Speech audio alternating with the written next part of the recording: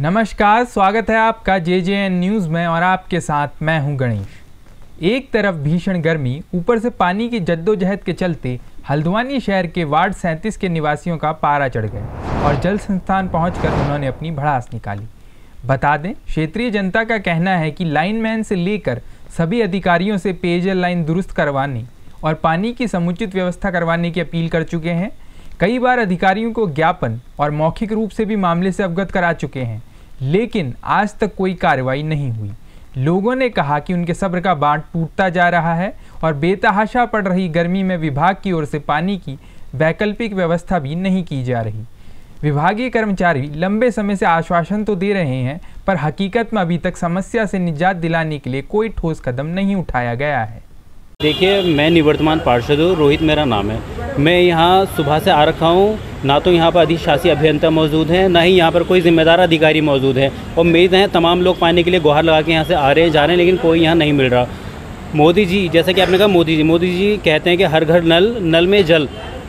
पूरा शहर पानी से सूखा हुआ है। न, किसी भी नल में एक बूंद पानी नहीं है। मैं बताना चाहता हूँ कि नई बस्ती जो गोपाल मंदिर का ट्यूबवेल कल से ख़राब है और ये जो ट्यूबवेल है ये तीन महीने में दूसरी बार ख़राब हो चुका है। और मैंने इनसे पूर्व में भी ये कहा था कि भाई साहब आप जो मोटर है एक अच्छी लगा दीजिए जिससे कि वो लॉन्ग टाइम चल सके लेकिन इनके ये वही पुरानी मोटर को रिपेयर करवा देते हैं और उसी को दोबारा फिट कर देते हैं।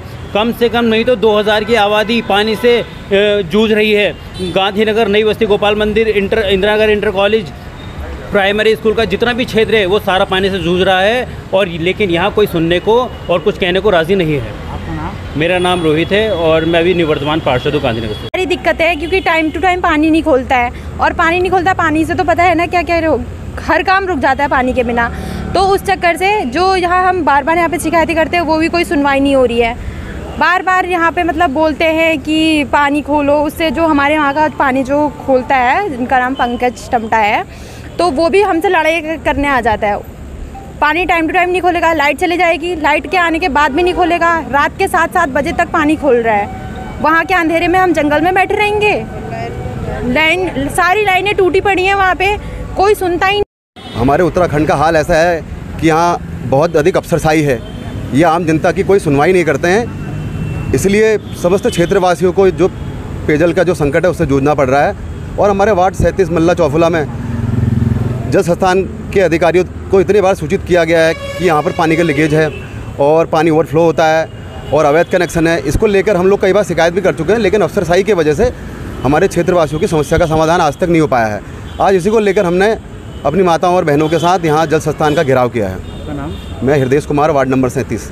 मैं सब देखिए, हम तो 2017 से पानी के लिए बहुत परेशान हैं और कंप्लेंटें काफ़ी कर चुके हैं। काफ़ी कंप्लेंट करने के बाद कुछ दिन समाधान मिलता है, फिर समाधान नहीं मिलता है। मैं ये देख रहा हूँ कि हल्द्वानी जैसे स्मार्ट सिटी में रहने के बाद हम लोगों का ये हाल है। तो पहाड़ में जो लोग दूर दराज इलाकों में रहते हैं, उनके साथ क्या होता होगा?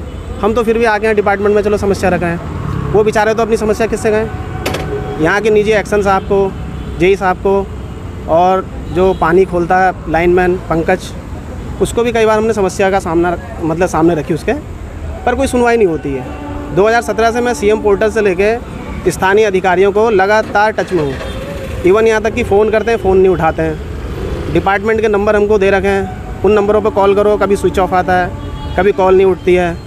और पर्सनल नंबर देने को कोई तैयार नहीं होता। आज भी हम यहाँ पे अपने माननीय पार्षद जी के साथ आए हुए हैं हृदय कुमार जी, सामाजिक कार्यकर्ता।